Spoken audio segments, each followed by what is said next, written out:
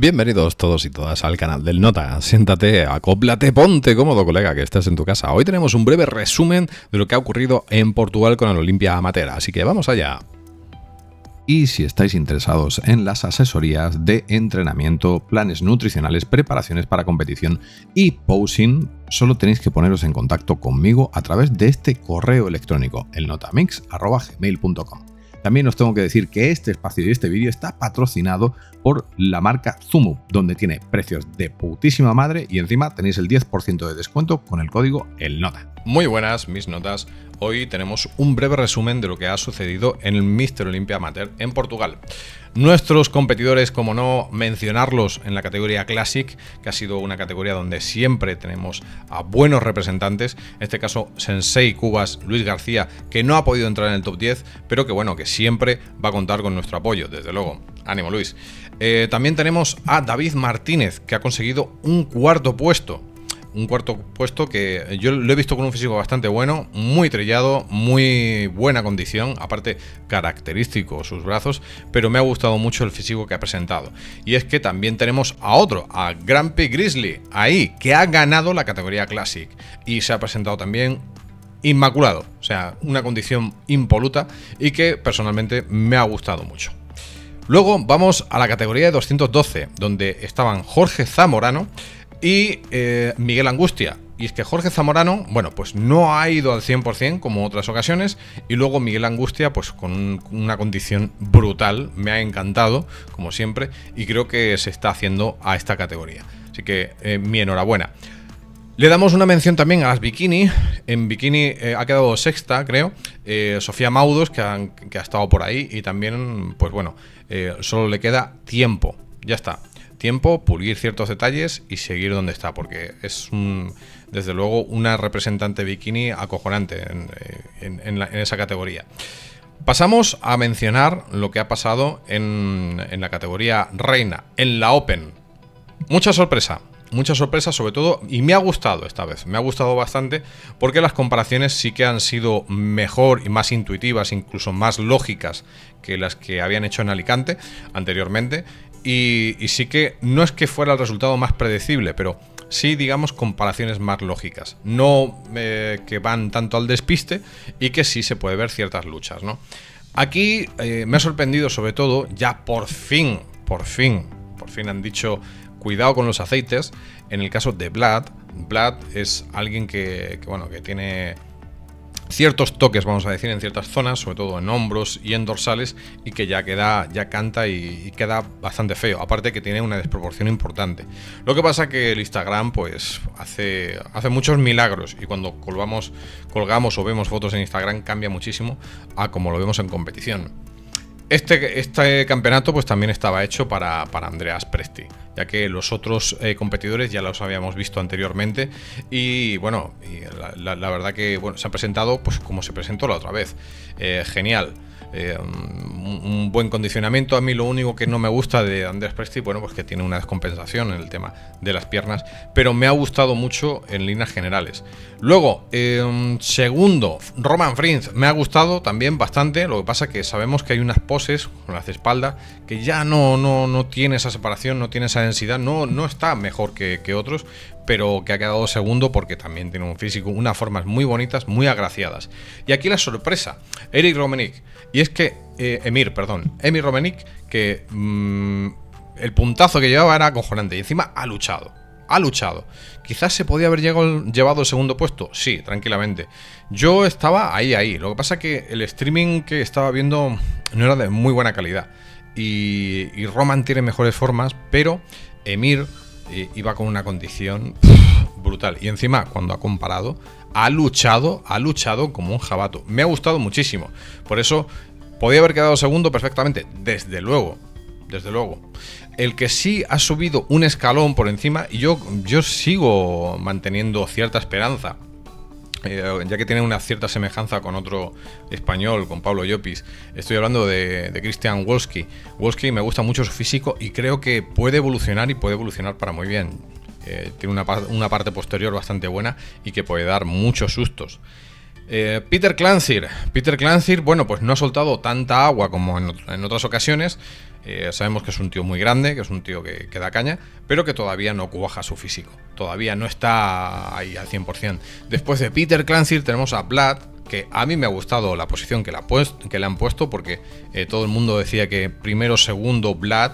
y, y, Andreas Presti. Y cuando yo lo he visto, sí, estaba muy fuerte, estaba muy grande. Tenía, bueno, pues eh, una masa bastante considerable, pero zonas que son insalvables. Y ese es el camino, el camino un poquito peligroso de ciertas cosas. Eh, luego teníamos a Laszlo y por último a Lionel Bellec, que, que ya, ya, ya no tiene, creo que no tiene noción de cómo se presenta o, si se quiere presentar pues en una condición que no, no, es bastante buena. Incluso el año pasado se presentó en mala condición y este año pues también. Y no es para nada competente. Me da un poquito de pena porque es un físico que podía dar mucho de sí, pero bueno, es, lo que hay. Y digamos que esto ha sido pues el, el, resumen de todo lo que, lo que hemos visto. Ahora vamos a ver algunas comparaciones. Si te está molando el vídeo, no olvides suscribirte y darle un like, por supuesto, que eso me mola, me ayuda y me va a venir estupendamente para seguir haciendo contenido. Aquí tenemos las comparaciones de la categoría Classic entre Grampy Grizzly, como no, que ha quedado ganador, Stefan, que es este de aquí del medio, y por último Miguel Malimo. Eh, Stefan tiene una estética maravillosa. Lo que pasa que aquí lo veo muchísimo más pequeño que en el Instagram que ha colgado. El perfil tiene un perfil bastante bueno, pero veo que el tamaño se lo ha comido. Me gusta mucho el cuádriceps y la pierna de lado. No me gusta su posing aquí. Me parece que eh, Granby Grizzly está, dándole bastante más caña. Y el glúteo, la condición de Granby es acojonante. Muy buena condición, le supera bastante en condición. Malimo muy bien, porque viene muy rajado, un cuerpo muy bonito. El posing es un poquito desastroso, la verdad. Eh, pero vamos, aquí manda Granby Grizzly, pero, pero de cabeza. La espalda es intratable. Estefan tiene una estética bendecida. Eh, también no me gusta nada el posing que tiene aquí. Parece que, no, no, saca provecho y encima lo veo todavía borrado. No lo veo al 100%, veo que tiene unas formas muy bonitas y que es un físico por pulir. Pero dando guerra, incluso fijaros Malimo, qué bien está aquí Malimo. O sea, me flipa. Y Grumpy Grizzly pues aprovechando en cada pose, rascando todo lo que puede. Y lo vemos en una condición superior a la de Stefan. Lo siento porque se vean aquí las letras y todas esas cosas, pero es el único vídeo y la, única cosa que tengo yo para comparar. Así que espero que, esto no os importe. Ahora vemos a Grumpy en el medio y, a mí me gusta, personalmente me gusta. No es la mejor pose, la de doble bíceps, pero joder, aquí podemos ver el relieve que tiene y bastante bueno. De perfil el mejor hombro con diferencia. Eh, sí aprovecha mejor la pose que Stefan. Stefan es, recordamos que es este de, aquí de la izquierda. Y en la espalda es que no hay nada que hacer. Eh, un glúteo rajado con esta espalda, señores. O sea, eh, la diferencia es muy grande. Eh, por cortes, por separación, por condición, es intratable, sencillamente intratable.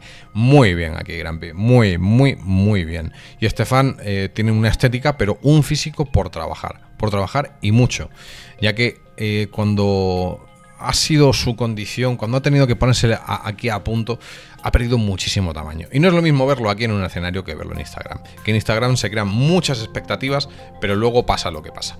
Y a mí me parece que, bueno, merecida victoria. Malimo me ha gustado muchísimo. De hecho, me, recuerda a un culturista natural que se llama Babacar Niang. Tiene una estructura muy, muy parecida. Y la verdad que me gusta bastante. Me gusta bastante. Así que eh, esto por una parte. Pasamos al acorio de David Martínez, un físico que me gusta mucho, bastante agradable, muy clásico. También ha venido una condición bastante buena. Creo que es alguien que nos va a dar bastantes alegrías. Sí que le tengo que comentar con el tema del posing que le den unas cuantas vueltas, ya que creo que puede aprovechar bastante más su físico. Tenemos la zona posterior que aparentemente parece su talón de Aquiles, pero que también le puedo decir que si da esa vuelta al posing lo puede mejorar bastante. Es un físico bastante agradable, muy clásico y sobre todo que se presenta con buena condición. Así que yo estoy segurísimo, segurísimo que en un futuro y solucionando unas cuantas, cosillas, creo que bueno, nos va a dar pues eso, muchísimas alegrías. Así que ahí tenemos David Martínez.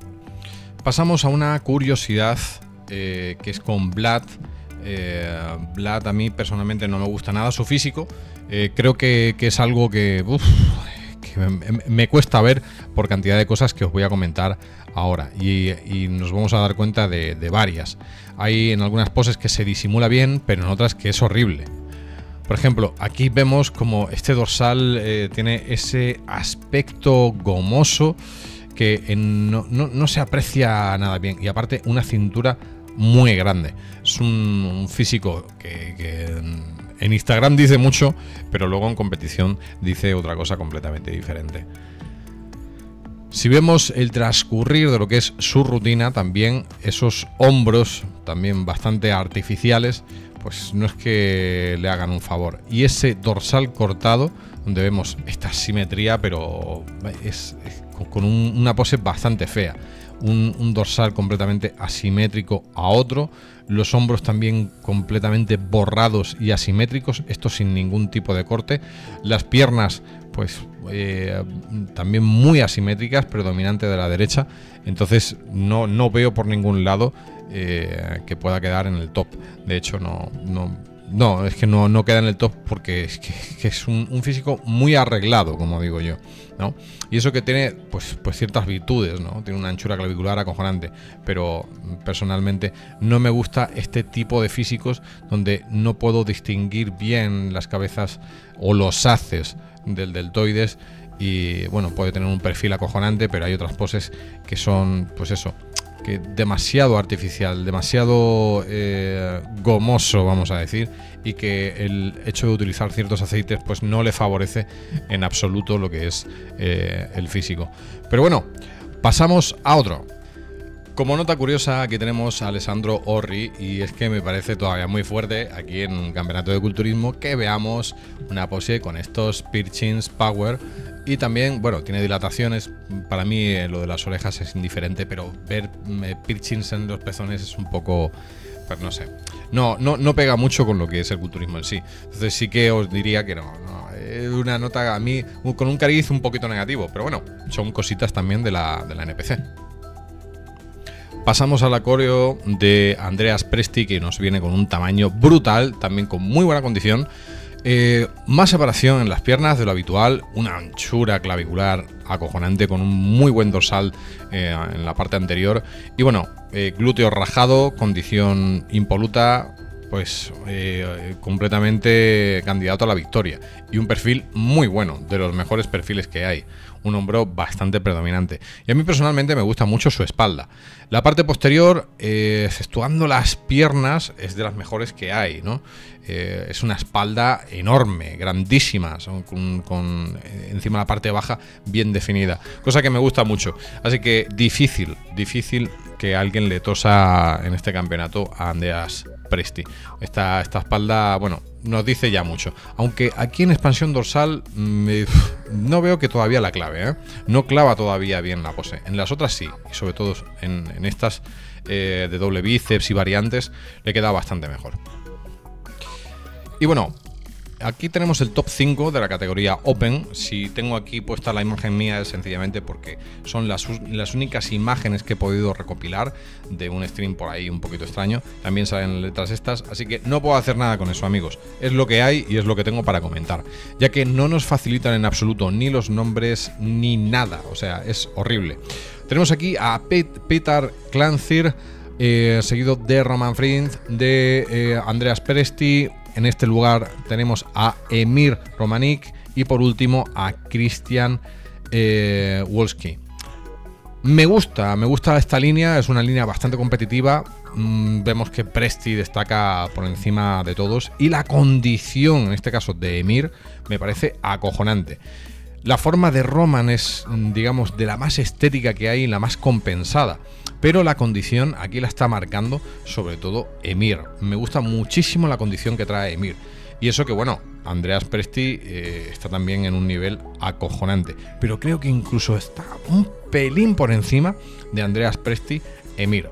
¿Qué es lo que pasa? Que eh, la estética, las formas no son las mismas. Y aquí viene el gran problema de Roman.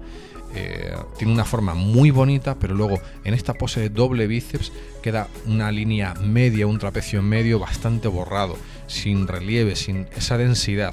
pero la pierna, la parte posterior, es la mejor de, de todo, de lo que es el top 5 de esta categoría Open. Entonces, veo que es una, categoría reñida por, ciertos aspectos. Emir, por ejemplo, me gusta bastante. Aquí eh, Peter no echa tanta agua como en ocasiones, pero mm, yo le veo incluso más pequeño por la parte de atrás que el resto de sus contrincantes.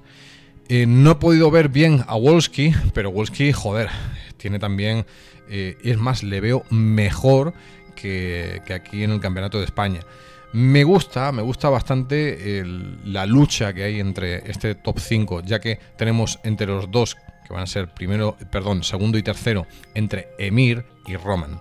Porque el ganador está claro, el ganador va a ser Andreas Presti, saca diferencia al resto, pues con, cierta autoridad y se nota. Pero eh, en la condición y cómo está luchando Emir, me hubiera gustado mm, Honestamente, sí, me hubiera gustado que, quedara segundo, por la actitud, por el punto, por todo. Aunque Roman, pues eh, podemos ver como sí está echando agua. Lo que pasa que la estética que tiene es maravillosa y un tamaño bastante bueno. Entonces es lógico también que quede segundo. Pero depende mucho de lo que son los jueces para valorar estas cosas vamos con la lucha para mí más, más reñida y más interesante de todo el campeonato. Eh, Roman contra eh, Emir. Y Emir lo tenemos aquí a la izquierda, Roman a la derecha, y me parece que, que, Emir es que viene hasta arriba, o sea, viene motivado, viene con ganas de posar. En cambio, Roman lo vemos más estático, no tan seguro de sí mismo y tampoco en tan buena condición como la que viene Emir. De hecho, Emir, fijaros el basto externo como lo está rajando, haciendo un perfil mejor que el de Roman. Me está gustando muchísimo. Aquí viene ya un poquito, pues bueno, los aspectos debatibles de lo que es la comparación. Tenemos tanto a Roman con esa mayor amplitud, la parte posterior de los isquios es soberbia, el glúteo, por ejemplo, de él también muy bueno, pero eh, la amplitud está ganando aquí. Y él, por ejemplo, Emir, no, no coloca bien eh, la escápula izquierda la derecha un poquito mejor, pero, pero no es su pose desde luego. Y eso en una categoría Open es para mí imperdonable. No obstante, bueno, pues eh, lo vemos como está presentando batalla y, nada más y nada menos a Roman. Pero Roman está muy plano en la parte de atrás. Es, digamos, su punto débil. Y él incluso mm, lo ves con una actitud que no, no está todavía seguro de sí mismo. Eh, las poses aquí de los dos... ¿Qué os voy a contar? No me gustan ninguna de las dos poses. Y menos que terminen así. Pero ya está. En abdominales y piernas, a ver si me saca el aire Emir. Eh, las piernas muy bien. Esta, la forma de Román superior. Y bueno, ya, ya le está diciendo, oye, tío, no tengo lumpies. O sea, eh, hay pique, hay pique, pero hay pique sano. Mm, Román tiene una, una forma bastante más bonita, tiene más tamaño. Pero aquí Emir, joder, tío, le ha plantado cara a un bestia como es Roman. Y me gusta mucho, me, gusta mucho esta batalla. Al fin y al cabo, Roman ha quedado segundo y tercero ha quedado Emir. Así que bueno, ha sido una, una batalla reseñable. Y eso ha sido todo, mis queridos notas. No he podido tener mejor material, esto es lo que hay y me he tenido que apañar. Eh, nos es muy complicado conseguir nombres, nacionalidades para poder mencionar a todos nuestros atletas. Así que si no os he mencionado y aparecéis en el vídeo es precisamente porque no nos facilitan tampoco nada a la hora de, eh, de ver los nombres y nacionalidades en los campeonatos. Cosa que sí me hubiera gustado pues mencionar al menos a nuestros atletas. Y bueno, lo dicho, espero que os haya gustado y os haya molado este vídeo. Y ya sabes, como mínimo, dale un me gusta, ¿no? Suscríbete y dale a esa campanita, tío, que eso me ayuda un huevo y joder, puedo seguir haciendo vídeos. Así que, venga, no te cortes que es gratis. No tengo tropecientos mil seguidores, no tengo un físico de escándalo, no soy un tipo adinerado, no vivo en Estados Unidos, tampoco soy un Adonis, solo soy el nota. Y sé muy bien de lo que hablo.